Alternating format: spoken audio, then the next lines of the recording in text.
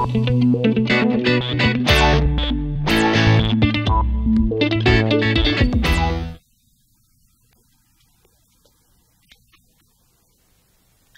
evening.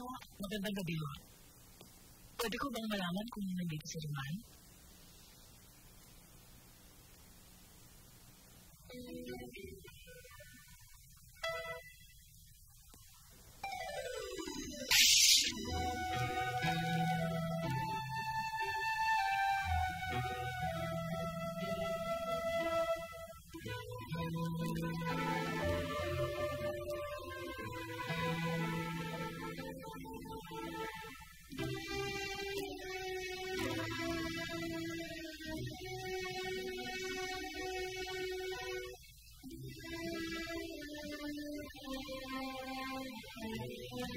Thank you.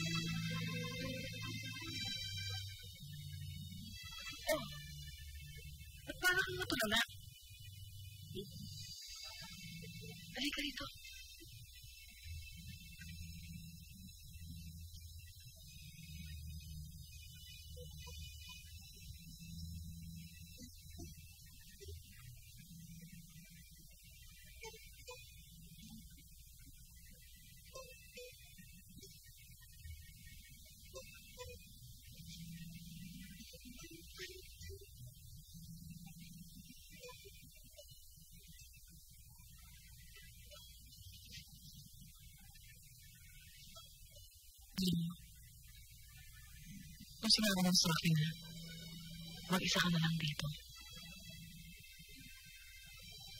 pumasok ako. Ayaw mo nun? Tayong dalawa lamang. Ngayon ay magagawa mo lahat ang gusto mong gawin sa akin.